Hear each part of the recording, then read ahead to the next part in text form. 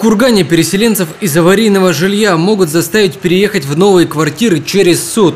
В частности, речь идет о доме номер 15, корпус 5 в 6 А микрорайоне Заозерного. Там несколько человек отказываются принимать жилье с недостатками. Об этом на совещании у губернатора Курганской области сообщил руководитель городской администрации Андрей Потапов. Квартиры показаны гражданам, подготовлены и направлены 27 требований об уплате неустойки застройщику о нарушении сроков передачи квартир.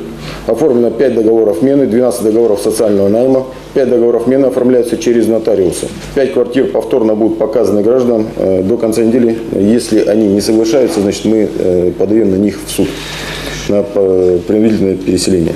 Отметим, времени для того, чтобы завершить программу переселения остается все меньше. Срок 1 сентября. Нового жилья ждут еще более полутора тысяч зауральцев. По состоянию на 11 августа 2017 года переселено 719 человек, осталось переселить 1610 человек. Руководителям муниципальных образований городов Кургана и Шадринска необходимо ускорить работу по заключению договоров мены и социального найма и переселить всех граждан из аварийного жилищного фонда в кратчайшие сроки.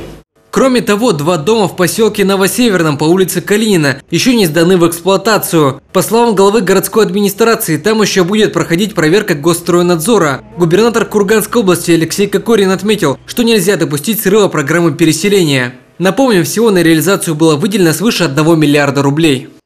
Меньше всего интересует, там, какие там справки, чего справки, должно быть все сделано качественно, вовремя и соответствовать.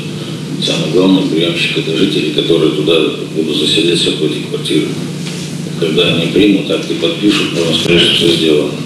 Василий Сысуев, Дмитрий Тихонов, Лидия Кайгородцева, информационное агентство «Курган.ру».